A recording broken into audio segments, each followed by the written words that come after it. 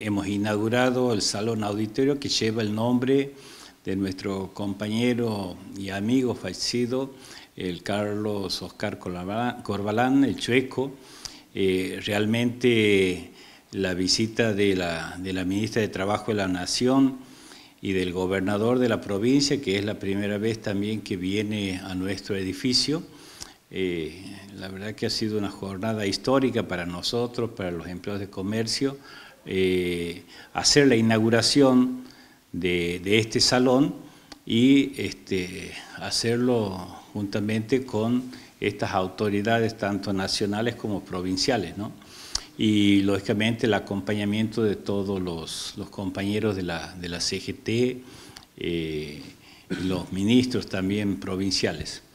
Eh, nosotros realmente con esta inauguración lo que hemos hecho es hacer un homenaje a la figura de El Checo Corbalán y, en él a todos los, dirigentes también que han pasado por esta institución haciendo grande a la institución. Y bueno, nosotros eh, de alguna forma en el nombre de Chueco hacer extensivo a todos los dirigentes también.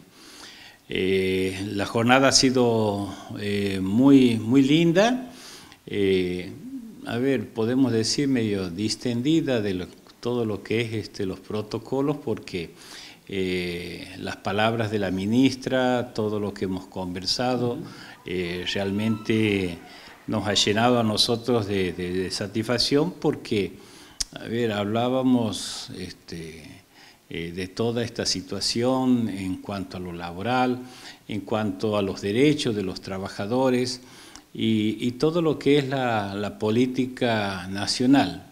Y, el gobernador también muy distendido, eh, contando las anécdotas que tenía y conversaciones con el Chueco allá cuando recién este, iniciaba él su gestión en el 2006, 2005, 2006, eh, realmente ha sido algo lindo para, para todos. ¿no?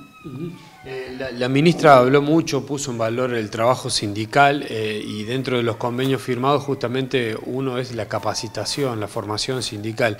¿Cómo lo analizan esto? Digo, ¿hay, ¿hay, que seguir trabajando justamente en esto?